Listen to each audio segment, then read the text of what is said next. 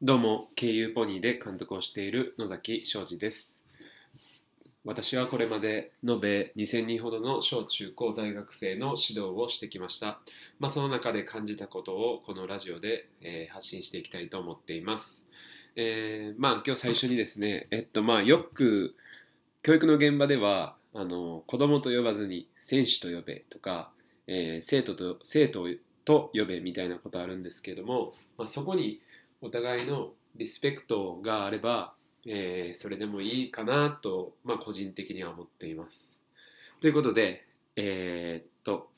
今日のテーマに移りたいと思います。今日のテーマは、えー選手の成長を覚えておくということです。まあ、昨日の話の、まあ、続きになるんですけれども、えーっとこちら側がコーチ側が、えー成成長のステップをあの提示する以上は、まあ、子どもの成長を覚えていかないと、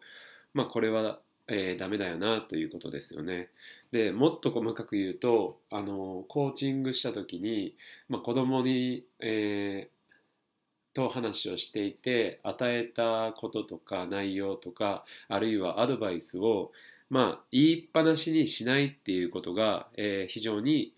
コーチングの中では重要かなというふうに思っています。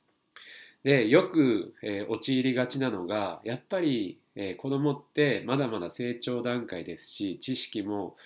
えー多くないと。で経験も多くないから、えー大人である私たちがたくさん指導をしてしまう。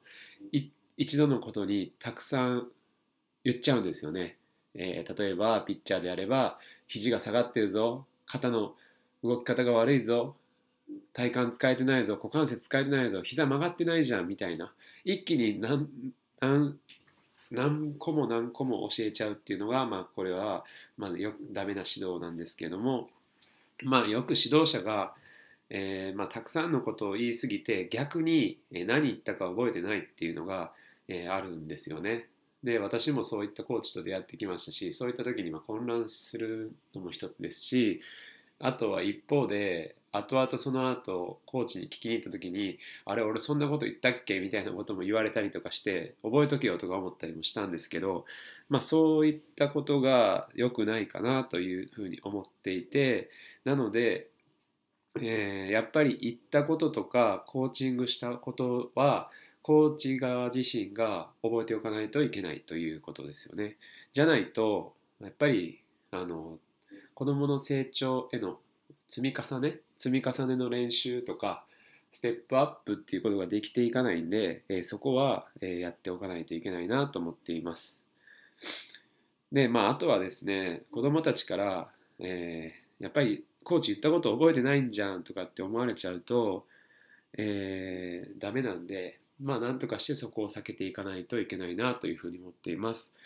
まあそんな時にですね、えーまあ僕自身もやっていたのはやっぱ細かくメモを取るということを、えーやってきたりとかしていました、まあ、ポケットにメモ帳を入れて何を言ったかとか気づいたこととか指導したことを、まあ、逐一メモをしてで覚えておくみたいな。であと後で振り返りできるんでそういったことをやったりもしましたしあとは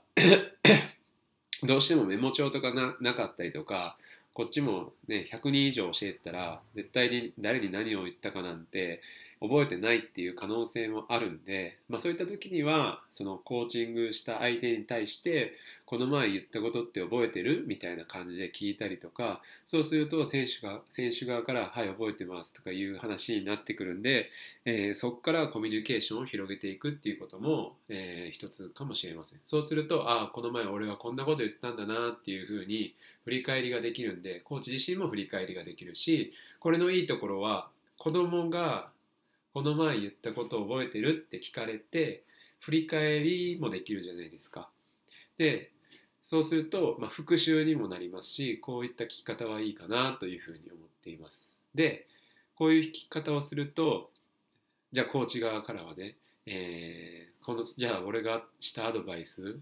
はやってみてどうだったみたいなことも触れるじゃないですか。そうするとまた子供からいややってみて実はこうこうこう思いましたとかあるいは良くなりましたとかあるいは合ってませんでしたみたいな話ができてじゃあ合ってないならもうそれはやめたらいいんじゃないみたいな感じで話も展開できるし、えーコーチと選手のコミュニケーションが、えー密に取れるようになってくるかなというふうに思っていて、まあ、この方法も一つあの